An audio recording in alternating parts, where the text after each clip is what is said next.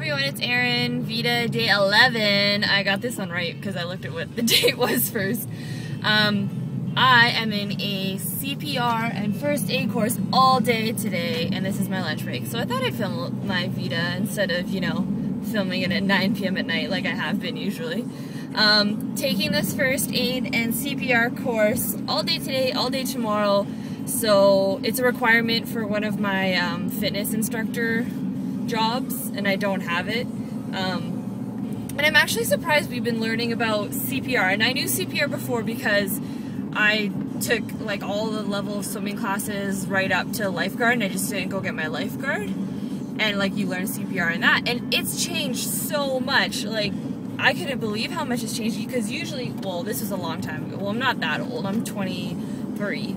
So when I was like 10 years ago or so, it was like like sweep the fingers to get anything out of the airway and like do two breaths and one, two, three, four, I forget how many. But now it's uh, like 30 chest compressions and you never sweep the airway until like a long time for until you can see something. And so I was like giving all the wrong answers in the course today. So I felt like a loser. But um, I'm glad I'm taking this so I know what's what to do if someone like collapses in the middle of my fitness course.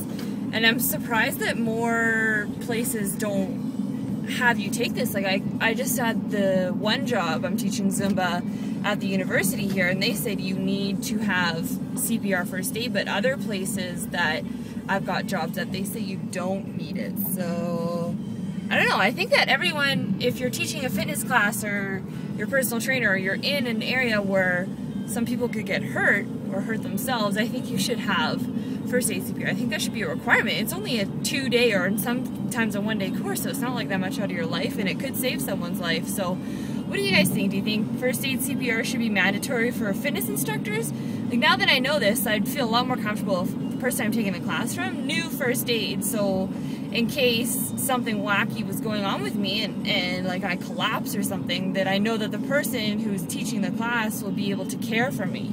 That's just my opinion. What do you guys think? Um, so, oh, there's lots of construction going on right now. It's summer in Regina. Um, so yeah, let me know what you think about first aid. Do you have your first aid?